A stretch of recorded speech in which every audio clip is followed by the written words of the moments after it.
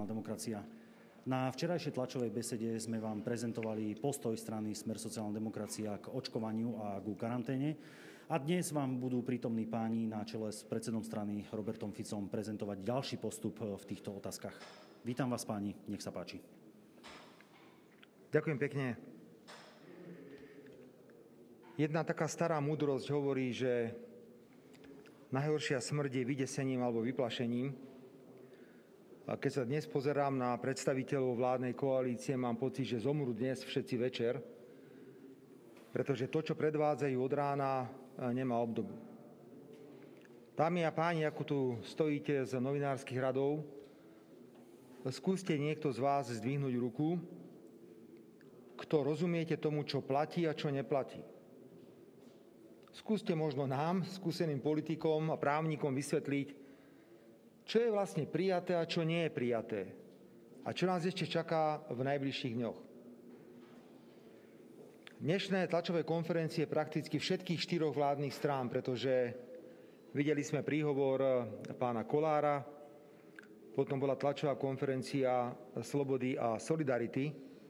Teraz som tu videl postávať pána Matoviča a vieme, že sa vyjadrovali aj predstavitelia strany za ľudí, toto všetko len naznačuje, že je totálny chaos vo vládnej koalícii, ktorá nevie, čo robí ľavá ruka, čo robí pravá ruka, už vôbec nevedia, čo majú robiť, aby Slovensko pripravili na prípadnú tretiu vlnu pandémie.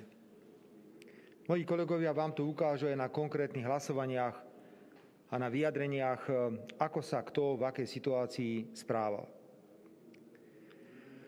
Začal by som ale možno niečím, čo je nevýdané na Slovensku a voči čomu musí strana Smer, sociálna demokracia s pokojom, s kľudom zareagovať a proti čomu musíme aj rázne zaprotestovať.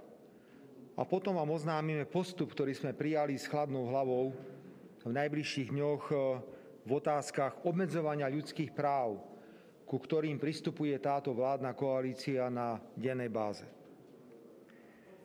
Začnem tým, dámy a páni, a uráža to nielen mňa, ale uráža to aj podstatnú časť verejnosti na Slovensku, čo si dovolujú niektoré médiá povedať na adresu ľudí, ktorí sa rozhodli, že majú iný názor na očkovanie a ktorí presadzujú, že očkovanie by malo byť dobrovoľné.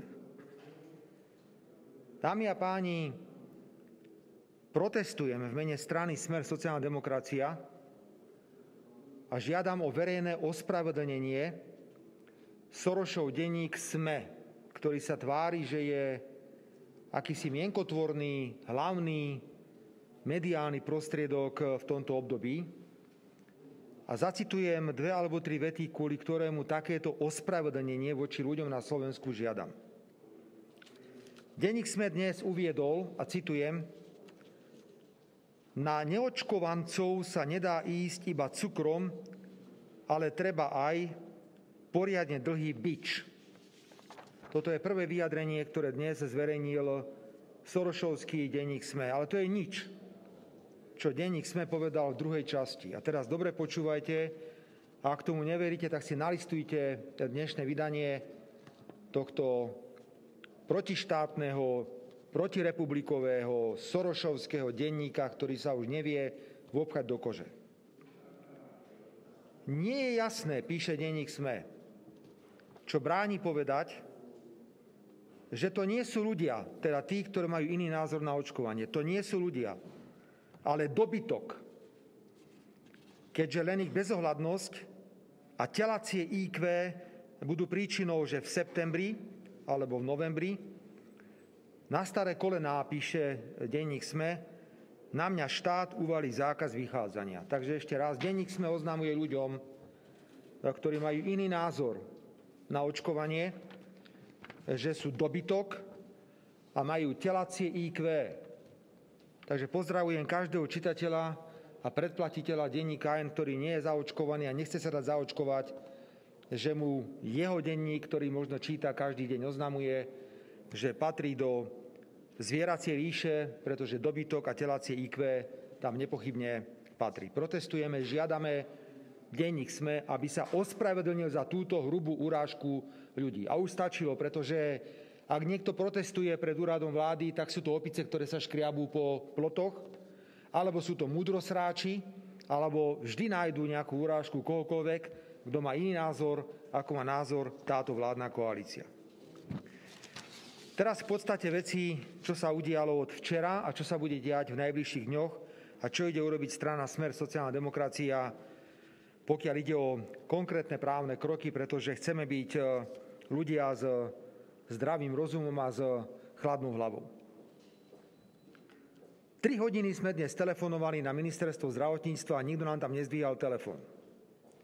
Nikto nezdvíhal telefón ani na legislatíve, Nikto nezdvíhal telefón ani na sekretariáte ministra, nikto nezdvíhal telefón ani na sekretariáte štátnych tajomníkov. Tak mi nezostávalo nič iné, len som išiel spoločne s pánom poslancom Blahom na vrátnicu ministerstva zdravotníctva a toľko sme tam nalíhali, toľko sme tam nalíhali, až došiel niekto z odboru legislatívy a poskytol nám základné informácie, ktoré sme v danom okamihu potrebovali mať, lebo nie všetko je jasné. Ako som už uviedol, Nikto z vás netuší, čo vlastne na Slovensku platí alebo neplatí. My sme si niektoré veci boli overiť. Začnem eh, pomenovávať tri okruhy problémov, ktoré dnes riešime.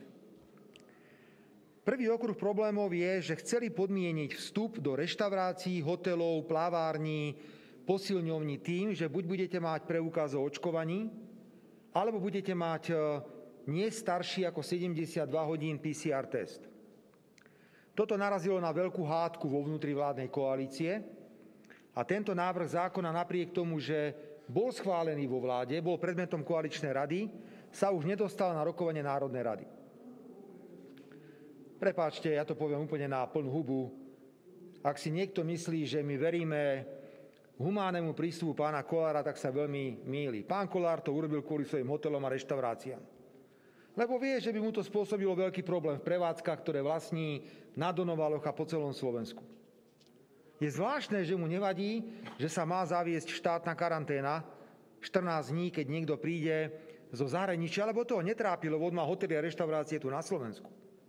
Takže strana Sme rodina zablokovala v prijatie tohto zákona v parlamente, hoci proti tomuto zákonu samozrejme sme aj my, lebo to je nezmyselné a diskriminačné, čisto z dôvodov, ktoré sú osobné a spojené na pána Kolára, pretože jeho ministri vo vláde ten zákon podporili. Keď si to asi Boris Kolár prečítal, že mu idú do kšeftu, tak rýchlo im dal ponose a dnes urobil tlačovú konferenciu a povedal, že do tohto strana e, sme rodina nepôjde.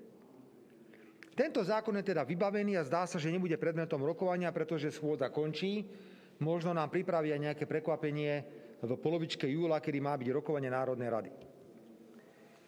Druhý okruh, ktorý sme riešili a ktorý je v podstate vyriešený, je problém eh, lotérie a platenia sprostredkovateľov, ktorí budú za ruky vodiť starších ľudí na očkovanie. Máme lotériu, ktorej eh, náklady nemajú presiahnuť týždenne 2 milióny a máme poplatky alebo odmeny pre sprostredkovateľov, kde takisto nemôžu náklady prekročiť 2 milióny týždenne. My sme to rátali. Do konca roka je to 99 miliónov eur náklady na lotériu a náklady na sprostredkovateľov už si takto milia ruky cigáni v cigánskych osadách. A už vidím, ako obiehajú sociálne domovy špekulanti, úžerníci, ktorí budú ťahať dôchodcov za ruku, budú im slubovať hory doly na očkovanie, aby na tom niekto dnes zarobil. Prečo toto máme platiť e, zo štátnych zdrojov? Prečo to neplatia farmafirmy? Toto bol hlavný dôvod, prečo sme my odmietli lotériu a tieto poplatky podporiť v Národnej rade a klub e, za stranu Smer sociálna demokracia tento zákon nepodporil. Pretože je to dobré pre úžerníkov, je to niečo, čo je v podstate na silu ťahanie ľudí do očkovania, namiesto toho, aby sme ľudí normálnym spôsobom presviečali. A je to niečo, čo podľa môjho názoru v normálnej spoločnosti ani nemá svoje miesto.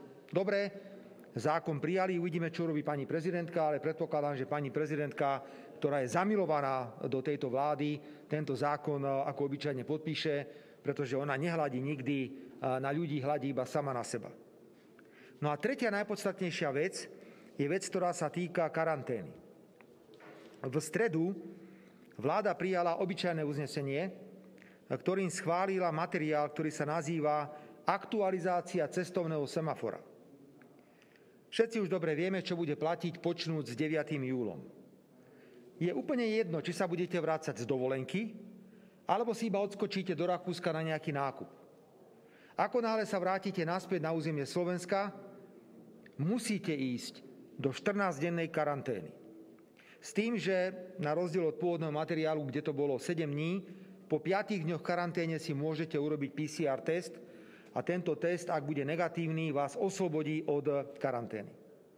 Nie je jasné, tento materiál to vôbec nevysvetľuje, kto bude platiť tieto PCR testy. Pochopiteľne Smer sociálna demokracia jednoznačne tvrdo opakuje, ak je princíp dobrovoľnosti, to znamená, že buď mám očkovací preukaz, mám protilátky, alebo mám PCR test, ale ten test musím dostať zadarmo.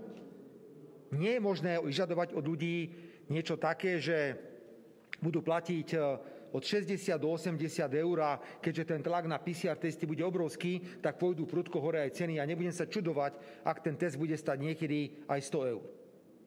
Čo má urobiť e, rodina, ktorá sa vracia z dovolenky a sú v aute 4 alebo 5? rodičia a tri deti. No ak vynásobím 70 krát 5, tak je to 350. To akože je nič? To je akože darček tejto vlády týmto ľuďom za to, že sa vrátia z dovolenky? Za to, že niekto ide do Rakúska, pretože táto vláda prestala bojovať proti dvojakej kvalite výrobkov a ide si kúpiť kvalitnejší výrobok, práci prášok alebo čokoládu, no tak keď sa vráti naspäť, musí ísť na 14 dní do karantény a ešte si zaplatiť po 5 dňoch aj PCR test. To snáď nemyslia vážne. Dobre, schválili to.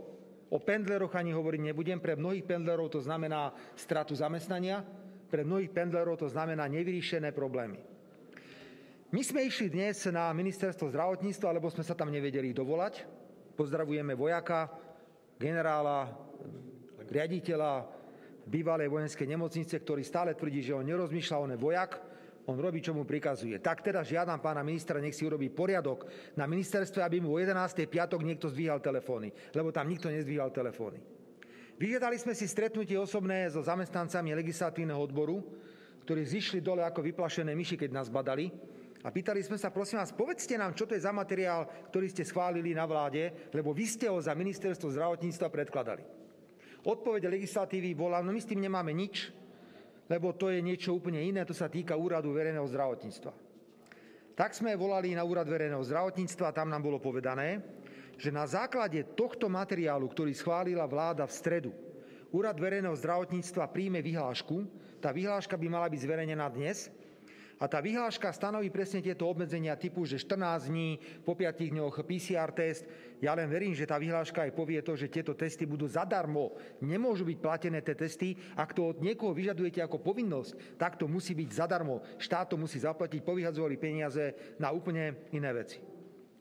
Keďže už konečne vieme, aký to je právny predpis a je to vyhláška Úradu verejného zdravotníctva, tak teda oznamujeme, keďže to už konečne vieme, a sme sa to dopátrali a dopátrali sme sa to len preto, lebo sme išli na recepciu ministerstva zdravotníctva, tak oznamujeme, že okamžite, okamžite podávame návrh na Ústavný súd Slovenskej republiky, aby posúdil súlad tohto právneho predpisu s ústavou, lebo my tvrdíme, že to je totálne protiústavné. Veľmi krátko to teraz vysvetlím.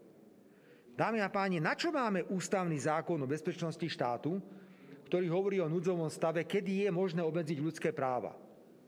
No máme ho na to, lebo obmedzenie ľudských práv, základných práv nad rámec ústavy môže urobiť len ústavný zákon. A to si oni nevšimli, že už núdzový stav nemáme?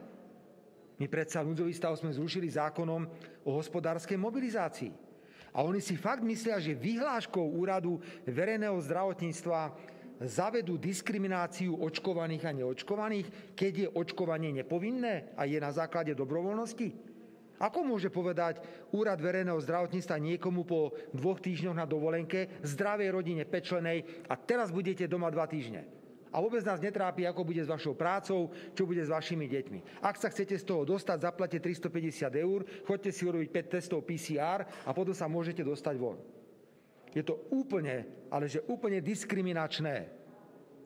Keby sme mali nejaké prvky alebo možno momenty anarchizmu tak by som povedal každému občanovi Slovenskej republiky, vykašlite sa na každého policajta, vojaka, ktorý bude na hranici toto od vás žiadať. Ale my chceme ísť ústavnou cestou. A preto podávame, pondelok je štátny sviatok, predpokladám, že hneď v útorok budeme žiadať o pozastavenie účinnosti tejto vyhlášky, pretože nemôžeme akceptovať diskrimináciu medzi ľuďmi, ktorí sú zaočkovaní a ktorí sú nezaočkovaní. Nemôžeme akceptovať obmedzenie slobodu pohybu, pretože Ústava Slovenskej republiky hovorí úplne presne, každý občan Slovenskej republiky má právo sa vrátiť na svoje vlastné územie bez akéhokoľvek obmedzenia. Toto by mohol zmeniť len ústavný zákon. A na to je aj núdzový stav, lenže núdzový stav v tomto okamihu už nemáme. Nehovoriac o práve na prácu, nehovoriac o ďalších základných ľudských právach, prípadne pendlerov a o ostatných kategóriách ľudí v tomto okamihu netreba ani hovoriť.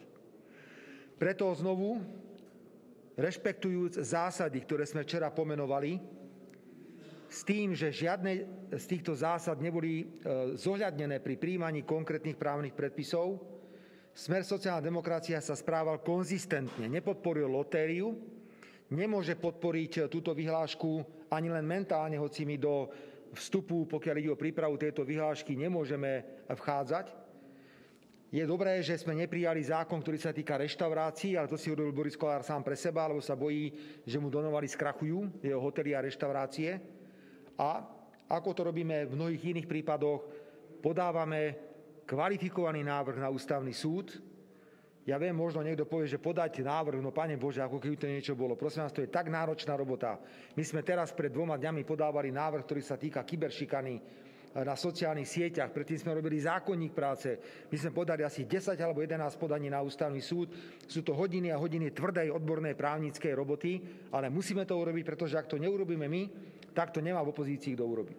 Smer sociálna demokracia pôjde touto kvalifikovanou cestou a predpokladám, že v útorok vám budeme môcť oznámiť obsah tohto podania na ústavný súd, ale trváme na dobrovoľnosti očkovania, odmietame akúkoľvek mieru diskriminácie medzi zaočkovanými a nezaočkovanými, Trváme na tom, že PCR testy, ktoré môžu byť v tom výbere alternatív, ako som povedal, očkovanie, protilátky, alebo tam bude téma PCR testov, musia byť zadarmo, pretože aj v tomto prípade tam vidíme celý rad porušovania základných e, ľudských práv. Dúfam, že som bol jasný, aby neboli žiadne pochybnosti o našom postoji. Verím, že aspoň niečo z týchto našich posolstiev dáte.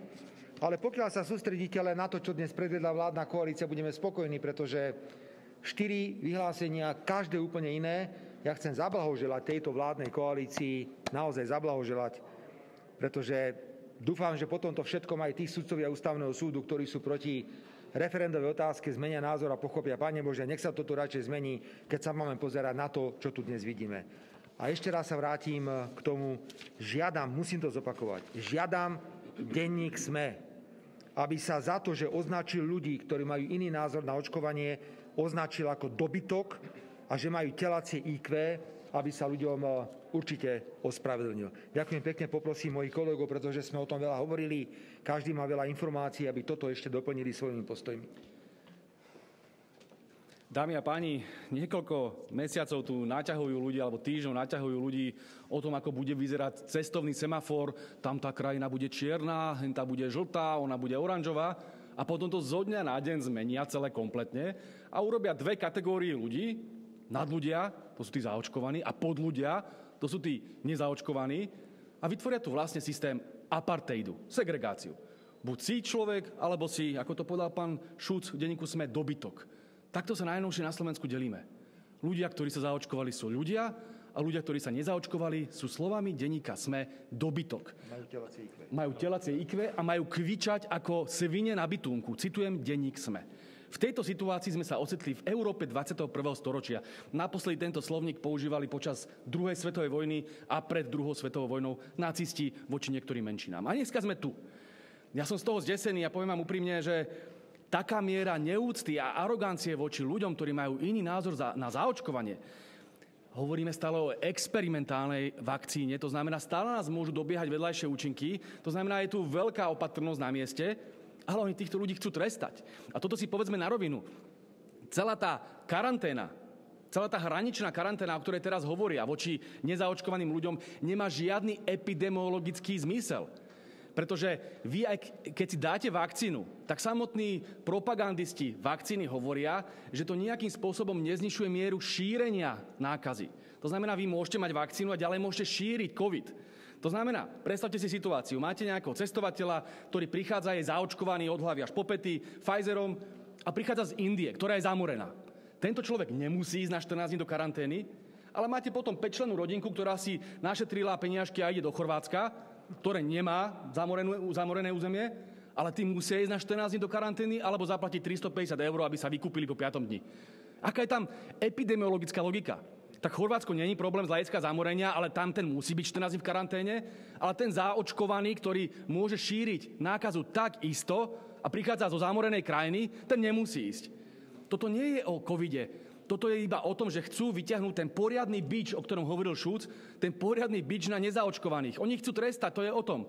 A oni to nazývajú motivácia. No tak ale potom nehovoríme o dobrovoľnom očkovaní, to je čistá povinnosť. Toto je čistá sankcia, čistý trest. A ja som presvedčený, že správať sa takto k ľuďom možno svedčí nejakým totalitárnym zriadeniam, ale celkom istom nie demokracii. Ako nebláznime. Najmä keď vieme, že sa to robí do veľkej miery pre zisky farmafíriem. Ale chcem len veľmi stručne. Ja som dneska počúval uh, pána podpredsedu, už vlastne není podpredseda Národnej rady, pán Šeliga, podpredseda uh, strany za ľudí. Tá úroveň toho neoliberálneho cynizmu, ktorú predvedol, mňa naozaj už doslova vytáča. Prepašte, on povie, že keď si niekto môže zaplatiť dovolenku, tak prečo by si nemohol zaplatiť test? PCR test? Viete, on je mladý človek, ktorý nemá rodinu. Nemá deti, myslím, že je to človek, ktorý ešte žije takým tým bohemským spôsobom života. Na účte mu pristávajú tisíce eur, lebo je poslanec Národnej rady. No tomu sa to hovorí, ale pre Boha, on sa nevie vžiť do nejakej štvor alebo 5 člené rodine. Typická rodina, ktorá zarába možno 700-800 eur. Ledva si našetrila na dovolenku niekde na, na Istri v Chorvátsku a teraz im to predražia možno o polovicu, lebo oni musia zaplatiť za 350 eur testy, on si to nevie predstaviť? No nie každý zarába tisíce eur ako pán Šeliga. A nie každý žije sám so svojou milenkou. Ale on takýmto spôsobom pohrdlivo a arogantne reaguje na ľudí na Slovensku. Je to podľa mňa chrapunské. Prepačte, to je krásny, krásna ukážka toho neoliberálneho myslenia, ktorú sem priniesol pán Kiska so svojimi poskokmi. A posledná vec, prepačte, aby niekto urážal ľudí, a hovoril to pán predseda Robert Fico, urážal ľudí, ktorí majú iný názor na očkovanie, že sú dobytok? Viete, tu sa vytvára taká ilúzia, že každý, kto spochybňuje alebo trošku má iný názor na očkovanie a uvažuje nad tým, že čo ak je to uh, niečo negatívne, tak musí byť zlý konšpirátor, antivaxer, dobytok a neviem čo ešte. Rozumiete, že my sa často bavíme o úplne tých najväčších odborníkoch na svete, ako je povedzme nositeľ Nobelovej ceny za virológiu Luc Montagnier, francúzsky virológ, Nobelista, hej, Nobelista za virológiu. A toho teraz poučujú žurnalisti z denníka N, ako pani Tódová, ktorá si nevedela napísať ani svoju bakalársku či diplomovú prácu, ale tá je múdrejšia ako pán Montenier, nositeľ Nobelovej ceny, ktorý hovorí, že pozor, očkovanie môže prinášať len nové a nové mutácie, že tým nič neriešime. Toto povedal pán Montenier pred pár mesiacmi, medzi tým tu máme už nákazu alfu, betu, už teraz máme deltu, o chvíľku tu bude epsilon, čo chvíľa bude možno omega, zeta. Ako tu sa vyplňajú tie Montenierové varovania, že pozor, to očkovanie môže mať tieto následky, ale nie. Denník Heno eh, vyhlási za konšpirátora a denník Smerovno za dobytok. Takto pre Boha nemôže fungovať demokratická diskusia. Však aj my pracujeme s odbornými argumentmi. Aj my pracujeme s tým, že vieme, že tu sú nejaké vedľajšie účinky, že tu sú aj nejaké úmrtia. Tak musíme byť opatrní a určite nemôžeme hnať ľudí do očkovania ako ten dobytok. Čiže protestujeme a myslím si, že slušná demokratická diskusia má byť bez takýchto sankcií, bez diskriminácie, bez apartheidu, musí byť dobrovoľná a slobodná. Ďakujem pekne. Dobrý deň, dámy a páni. Eh, ja som si dnes vypočul štyri tlačové konferencie o tak závažných veciach, ako je karanténa, obmedzovanie ľudských práv, o diskriminácii ľudí, ktorí sa napríklad nedajú zaočkovať. A ja som žasol. Je to učebnicový príklad toho, ako sa prináša legislatíva koaličnej vlády do Národnej rady. Tak ako sa pán predseda opýtal, či niekto, niekto rozumiete tomu, čo vlastne platí a čo neplatí, tak vám ukážem na základe toho, čo som si urobil poznámky, čo platí vo vládnej koalícii. Tak tu máme tri opatrenia. Jedno sú testy do reštaurácií a do fitness centier. Druhé je očkovacia lotéria. Tretie opatrenie je karanténa po vstupe do Slovenskej republiky. Tak sme rodina je proti testom do reštaurácií, je za lotériu, je za karanténu pri vstupe do Slovenskej republiky. Saska, presný opak. To, čo má sme rodina za, tak oni majú proti. Zoberme za ľudí 3% strana, ktorá nás tu kádruje a ktorá má tri rôzne frakcie, tak tá súhlasí absolútne so všetkým, čo sa tu deje. Napriek tomu, že my ako Smer sociálna demokracie nesúhlasíme ani s jedným z tých opatrení. A keď si zoberieme Olano, tak Olano je v schizofrénii. Viete, tam Pán predseda Igor Matovič hovorí o tom, že, že vlastne Boris Kolár poukázal na nejakú medzeru v legislatíve, ale pán Lengvarský, ktorý je ministrom, ktorý je z tej istej vládnej teda, Zolana, tak ten tvrdí presný opak. Tí sa nevedia dohodnúť, ale keď berem názor Igora Matoviča ako primárny, tak tí sú proti, lebo majú problémy niečo, kto bude platiť za tieto testy do reštaurácií, sú za očkovaciu lotériu a za karanténu. Nájdite mi tu jednu zhodu, Nájdite mi tu jednu zhodu. A títo páni prídu s týmto do Národnej rady a chcú, aby sme za niečo hlasovali. Však oni nie sú dohodnutí sami, sami medzi sebou. To už nie je, že teória chaosu. Toto mi pripomína film Prelet nad kukučím hniezdom. Je to z prostredia psychiatrickej liečebne. Takto rozhoduje táto vláda. Proste je to jedna katastrofa a táto vláda musí skončiť. Keď táto vláda bude prinášať napríklad daňovú reformu na Slovensku a takáto zhoda bude na tej daňovej reforme, aký to bude mať dopad na ľudí? Katastrofický. Ďakujem pekne za pozornosť. Doplním môjho kolegu Láca Kamenického, pretože to všetko, čo vám ukázal v tej tabulke, je vlastne výsledok 6-hodinového rokovania koaličnej rady. A ak vám neušla tlačovka strany SAS a predsedu Sulíka, ten povedal, že on nerozumie, prečo SAS blokuje niečo, čo dohodli na koaličnej rade. To znamená, oni dohadovali 6 hodín niečo na koaličnej rade. Výsledok je takýto, že sa aj pri hlasovaní nevedeli zhodnúť. A teraz sa predbiehajú, že kto je väčší populista a kto je menší populista. Ako to už býva v prípade Igora Matoviča, keď zistil, že sa niečo nevyvíja dobre, začína hádzať vinu na niekoho iného. Budem citovať to, čo povedal na tlačovej konferencii. Lengvarského návrh s tým, že, že Lengvarského návrh je taký, že s tým, že prikláda ľuďom sociálny revolver v hlave, chladnokrvne by ich nutil dať sa zaočkovať, si chudobný a nemáš na test, chod sa dať očkovať. Zhodnotil Matovič, ako by návrh vyzeral v praxi, ktorý navrhuje minister Lengvarsky. Podotýkam, jeho minister.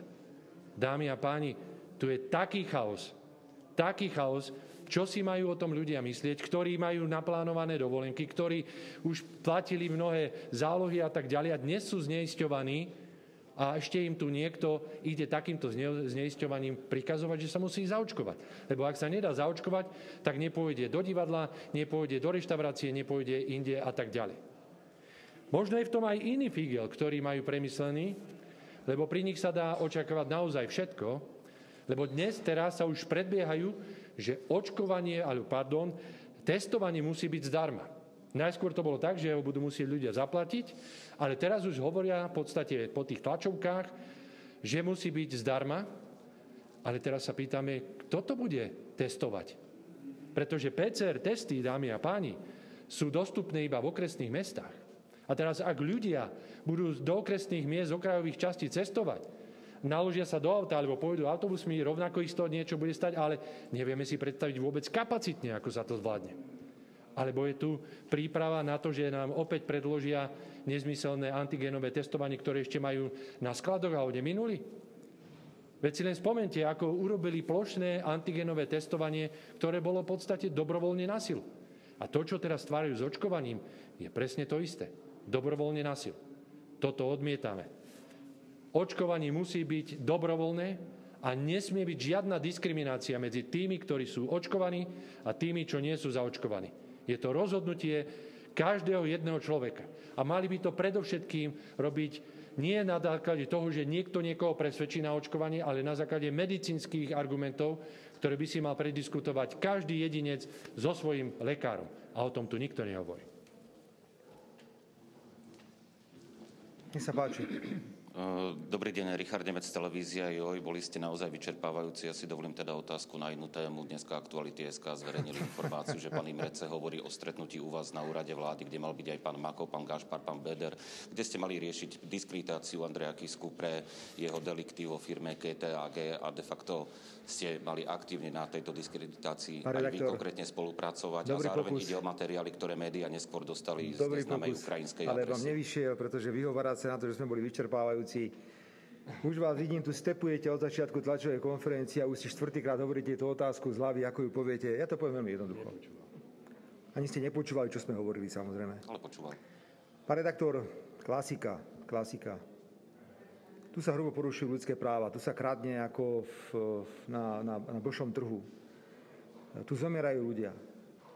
A vy sa ma pýtate na nejaké blbé stretnutie, o ktorom vám môžem povedať veľmi jednoducho asi toľkoto. Aktuality sa na mňa dnes ráno obrátili s touto otázkou a napísali im, že do 11. musím odpovedať. Samozrejme už bol napísaný velikánsky článok, ktorý mal asi 11 strán, a potrebovali iba jednu vetu tam odo mňa, že čo na to poviem, pretože ich nezaujíma náš názor. Oni majú svoju pravdu. Tak som odpísal a stojím si za tým teraz, e, že veľmi rád dám všetky detaily.